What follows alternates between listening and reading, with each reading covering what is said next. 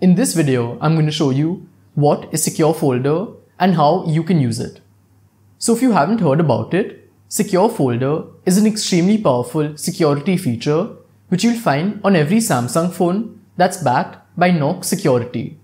So here's how it works. It's basically a folder in which you can store photos, videos, files and apps and this is all locked with some password. So it can be a fingerprint or a pattern or a pin. So there are some cool things about this folder.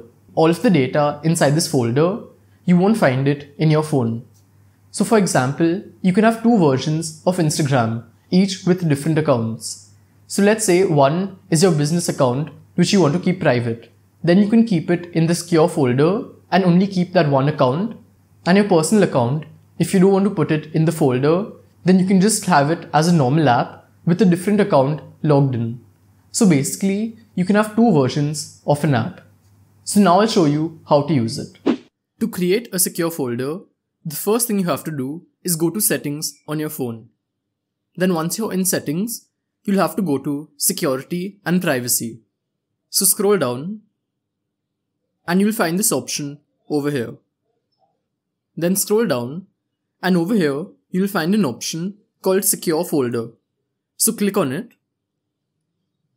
Then click on continue.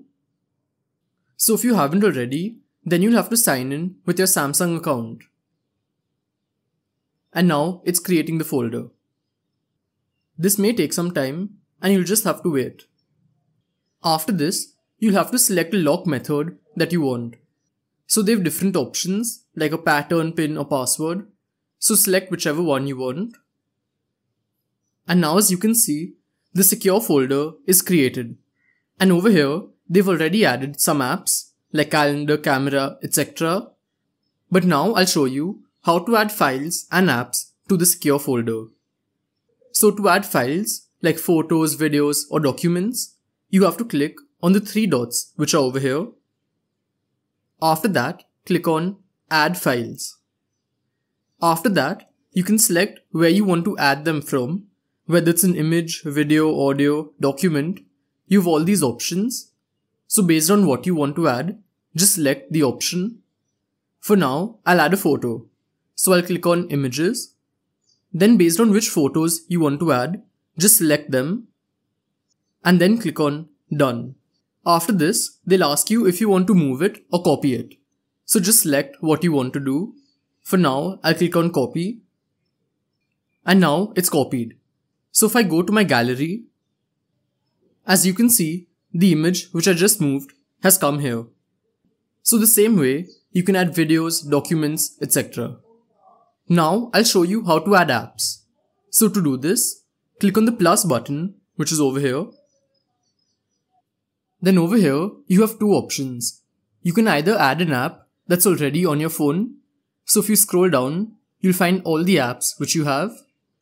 Or if you want to add a new app, then you can download it from the Play Store or the Galaxy Store. So like I mentioned earlier, each app in your secure folder will be different from the apps which are normally on your phone.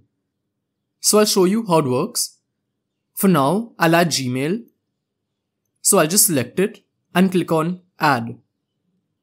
And now it's added and outside of my secure folder, I had logged in to all my accounts. But now if I open Gmail, as you can see, all of my accounts have gone and this is basically like a new app. So the same way, you can have two versions of different apps. So this is how to add apps to your secure folder. Now I'll quickly show you some important settings. So to go to settings, click on the three dots again over here and click on settings. So in settings, the first few are related to the lock type. So if you want to change your lock type or not make your pattern visible, then all of the settings are related to that. After that, an important setting is notifications. So just click on it.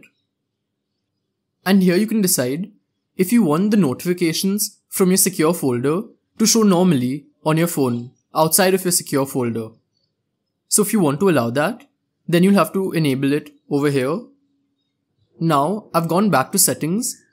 Then another setting is if you want to show secure folder in your app drawer. So currently in my app drawer, I'll be able to find secure folder.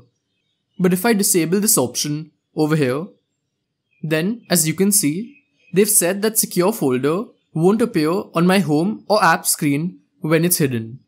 And the last setting is uninstalling secure folder. So if you want to do this, just click on more settings that's over here and then click on uninstall and then just click on uninstall to delete secure folder. So this is basically how to use secure folder and if you want to know how to transfer files from your phone to your laptop then check out this video over here. That's it for today. Goodbye.